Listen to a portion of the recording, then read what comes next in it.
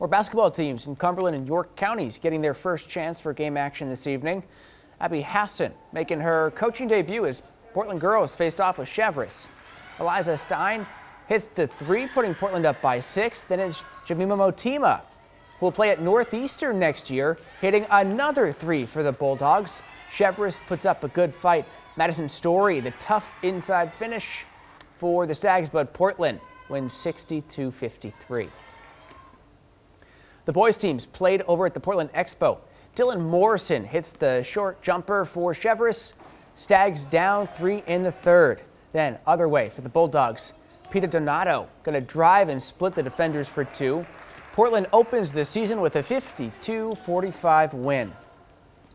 Biddeford boys opening up against rival Thornton Academy. Quick start for the Trojans. Dylan Griffin gets the layup for two. Then Peyton Jones finishing ahead of the pack with the dunk. TA scored the first 14 points of the game. Other way then Scott Kelly hitting the three here for Biddeford, but Thornton Academy wins it 67 to 46. Over in Saco, the Thornton Academy girls hosting Biddeford. Grace Tardif hits the tough shot for Biddeford. Second quarter here, TA would start to pull away. Jessica Dow working the block, and for two here, Thornton Academy wins the opener 66 38.